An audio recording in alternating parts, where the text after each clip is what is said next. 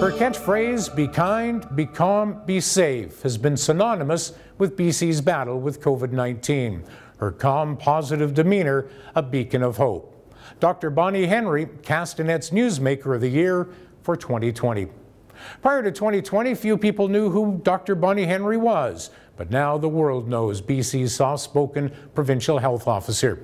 Dr. Henry became the face of the pandemic, leading news briefings with Health Minister Adrian Dix multiple times a week throughout 2020. And while COVID 19 thrust her into the spotlight, Dr. Henry is no stranger to infectious diseases.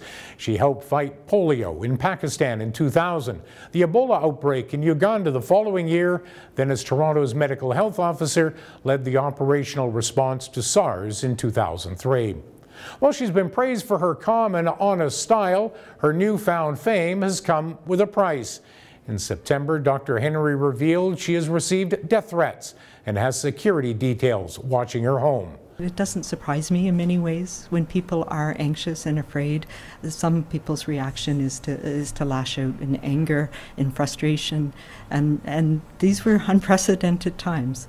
While COVID 19 has been front and center, Dr. Henry has continued to speak on the province's other health crisis illicit drug overdoses. She's also continued to advocate for decriminalization of possessing small amounts of all drugs. As tough as 2020 has been with the arrival of a coronavirus vaccine, Dr. Henry hopes that by the summer or fall of 2021, things around the province and indeed the rest of the world will look somewhat normal again. For Castanet's 2020 Year in Review, I'm Wayne Moore.